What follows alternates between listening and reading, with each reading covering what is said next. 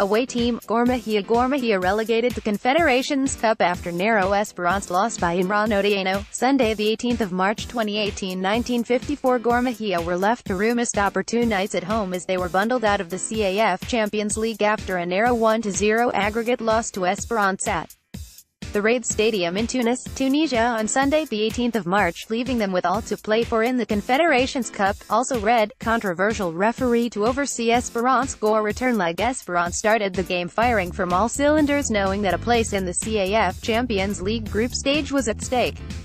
K'Ogalo were however up to the task playing with ice on their heads as they displayed a sense of calmness in tight situations. Gor sat deep as they aimed to lock the back and surprise Esperance with counters which resulted in playing long balls from the back which in turn isolated Jacques Tuyisenge up front. Joash Onyango held his heart in his hands after handing the ball in the box from a free kick but the referee waved away the home team's appeals for a penalty. After relentless waves of attacks, Esperance's pressure paid off when Anis Badri fired from outside the 18-yard area to, to give them the lead in the 20th minute. The game had its fair share of ugly scenes as well. Jacques Tuyisenge was pushed as Francis Kahata was readying a free kick which prompted referee Joshua Bondo to flash a yellow card which didn't go down well with the home fans and they pelted the Gor Mahia bench with water bottles, forcing the game the game to be halted with the Esperance coach Ben Yahia scuffling with Dylan Kerr. The first half drew to a close with Esperance leading 1-0. Also read, Money Matters, Walusimbi absence in Tunis trip explained Met also got into the referee's book immediately after the resumption after a foul on Daoudi and could have easily been sent for an early shower after applauding the referee's decision, Esperance thought they had doubled their lead from a free kick which was deflected in by Bellani but the linesman judged him to be offside.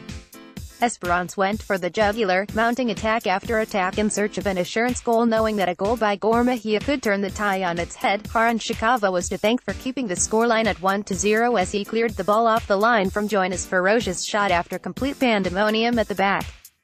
Also read, Dylan Kerr stays positive as Gor Mahia seeks to join Africa's elite as the game war on tempers fell Resident Ben Yahia at some point got into the pitch to protest the referee's decision not to award an Esperance foul. Dylan looked to his bench as he brought in Boniface Omondi for George Odhiambo. Anguso was next on the substitution list as he gave way for the experienced Humphrey Mieno.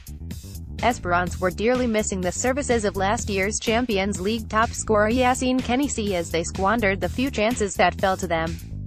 The home side also displayed time-wasting antics overreacting at any nudge and Kerr exhausted his substitutions in the 90th minute when he sent in Samuel Onyango for Joachim Oluoch. With the loss at this stage Gor Mahia will be relegated to the CAF Confederations Cup leaving Esperance to sail through to the Champions League group stages.